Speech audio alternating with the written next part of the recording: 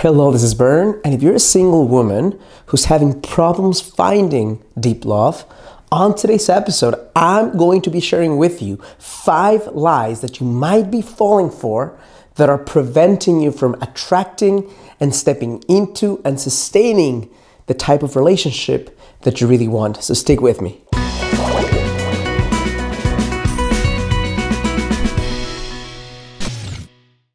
This is Bern, and welcome to your great life greatlifetv.com, a space where I share with ambitious, conscious, heart centered, and successful women how you can create the relationship of your dreams and attract the kind of man that you want and sustain that relationship without the need for tricks or gimmicks, and as a result of stepping into the most alive, vibrant, and feminine version of yourself. Now, there's different lies that we as a society step into that whether we want to or not prevent us from attracting that kind of love that we want and stepping into that relationship. So I'm going to share five with you today. The first one is the idea, the illusion that lifelong, intimate, fulfilling, passionate, and devotional love should happen naturally, right? I mean, we've all seen it. Well, my grandpa met grandma uh, during, I don't know, high school, and they saw each other, they fell in love, they just created this family, worked together for 70 years, and it was just all uphill from the moment they met. That's the, at least the idea that we get. The reality is the vast majority of us have a deeply challenging time finding the ideal partner that we want for many reasons. First, because we have much higher standards right now than we've ever had at any point in history in terms of the kind of partner that we will allow into our lives. And The type of energy that's required, the type of skills that are required to be with someone, to attract them, to inspire them, to go through problems, to communicate, to grow, to expand, to beat the odds, to be together for multiple years are significant in scope. And the problem is, we go through life taking tons of hours of classes for every subject you can imagine, but not a single hour into how to attract your ideal partner or how to create the relationship that you want or how to sustain it.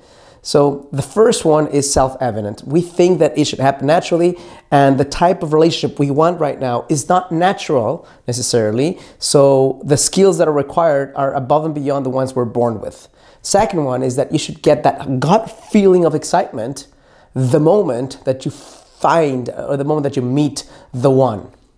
And this has been perpetuated through stories, through myths, through movies, through magazine articles. And you get to think that the moment that you cross eyes with the other person, the world stops, the birds start chirping, the oceans part, the heart starts exploding and clearly shouting at you, You found him, you found him. And whenever that doesn't happen, you mistake the feeling of not understanding that this guy could be the one. Like if you didn't feel it instantly, then you start thinking, well, you know what? I should know that he's the one. And it typically takes longer than just that first meeting. Now, am I saying that no one met the first time and felt this is the person I'm going to marry? Sometimes that happens, but I think that's been so expanded in culture that we think that's the norm, and that is not the norm. The vast majority of human beings meet each other. Sometimes they like each other, sometimes they don't, and it grows through time if you have that idea that you need to know the first moment you meet someone, and if the chemistry is not explosive, then it's not, you shouldn't pursue or you shouldn't be pursued by that person, well, you're gonna let so much greatness on the table. And you're going to go jumping from relationship to relationship, seeking that high that may not necessarily create the sustainability you're looking for. Third lie that we buy into is that the skills required to fall in love with a man, which for most people are none, because most people think that, that they're born with those skills and that it's the most natural thing in the world. So that's already flawed to begin with. But a lot of men and women think that well, once you attract that human being, that that's the same thing that requires to sustain the relationship, and nothing could be further from the truth. Attracting a human being, it's something that takes a little bit of skill. Sustaining that relationship requires 20 times the, not, the skill level. Why? Because the law of familiarity takes place, because now you have to express yourself in ways that you didn't have to before. Because when the honeymoon period uh, dries out, then you need to create depth and friendship and other things that go beyond the initial sense of excitement and infatuation. And if you don't take the time to learn those skills and to perfect them and to grow them, including with your partner, then you're left with an illusion. The illusion that what you brought into the relationship will sustain it. And again, it's absolutely wrong, flat out wrong. Fourth one is that you deserve the deepest kind of love that there is as a birthright. We live in a society that, for the most part, has uh, stepped into a sense of entitlement. Like you deserve the best in the world. Why do you deserve the best in the world? I'm not saying that you don't. I'm saying if you want to deserve the deepest kind of love that's the most intimate and the most passionate, which is different from the fraternal love and universal love that is birthright to everyone. That I buy that it's a birthright, the just level from of love between a son and mother or daughter and father or, or both, right? Uh, but the type of love that we're seeking is not a birthright. It's like in, any more than maybe becoming a millionaire is a birthright or becoming a doctor is a birthright. You want those things that are hard you better be willing to put your hard earned time and energy and sweat into getting them. Because otherwise, you're going to get what most people get, which is mediocre relationships or no relationships at all.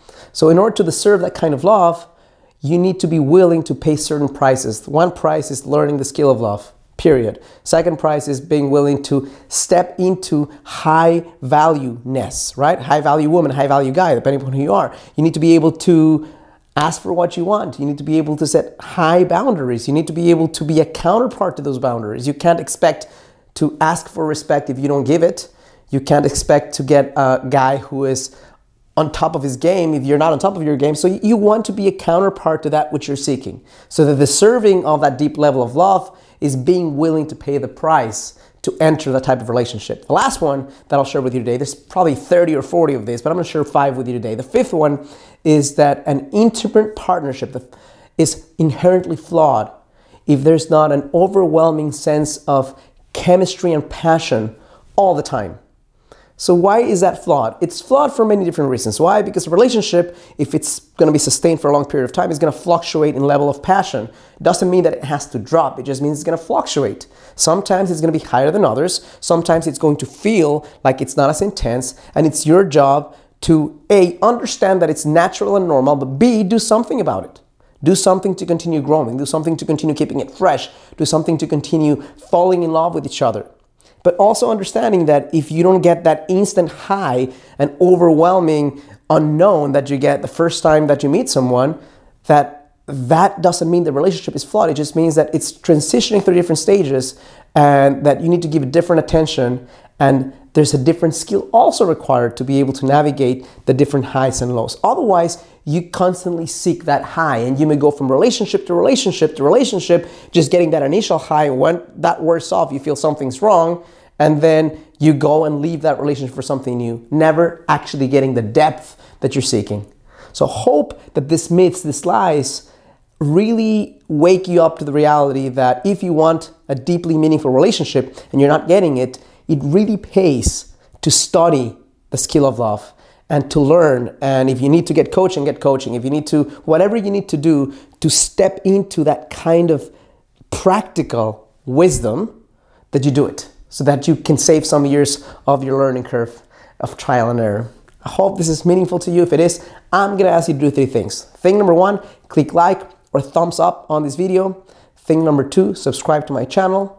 Thing number three, if you feel this is helpful to you and you want to learn a lot more, then there's a first link on the description of this video that will share with you. You click on that link, enter your name and email, and it will take you to a masterclass that I created that will help you understand how to create the relationship you want with a lot less pain. Now, if you have been watching my videos and other people's videos and you know that it's not enough for you, you know that you need more. You want some customized hand holding and help so that you don't have to go through the next five, ten years of attempting things that don't work out. And you want to cut down the time and also enhance the learning experience and the results that you get, well, on the second link under the description of this video, you'll find a way to apply to work with me. Fill out the application. I'll read each one of them personally. If I feel I can help you, my assistant will reach out, schedule a time to talk. Thank you so much for connecting with me. And as always, I challenge you to feel a greatly fulfilling, deep, and outstanding life. Thank you.